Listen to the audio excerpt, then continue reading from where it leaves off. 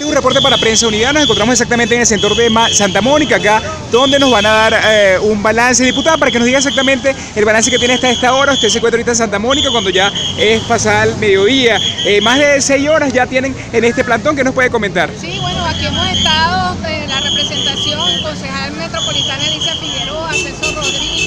y otros diputados asumiendo con el pueblo venezolano la protesta cívica pacífica y Santa Mónica siempre ha sido una población que lucha, que defiende su voto y defiende su opinión. Y en ese sentido hemos estado desde esta mañana asumiendo intermitentemente la toma de la calle a través de los mensajes que le estamos dando a cada uno de los presentes, a los conductores, porque definitivamente este pueblo está determinado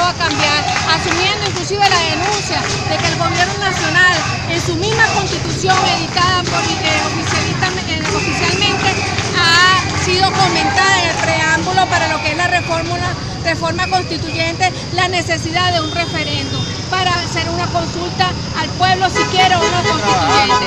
En ese sentido, asumiendo nosotros la defensa de ese pueblo venezolano, estamos aquí en este caso con toda la responsabilidad, por supuesto, asumiendo la necesidad de que se abra el canal eh, humanitario, necesidad del reconocimiento de la institucionalidad de la Asamblea Nacional, la libertad de los presos políticos. Sobran las razones para estar hoy protestando en el plantón nacional y es por eso que vamos a persistir aquí y por supuesto condenando la Guardia Nacional Bolivariana en cuanto a su maniobra de no permitir este plantón en la Avenida Victoria y tratando de vulnerar los derechos de los protestantes en los diferentes puntos.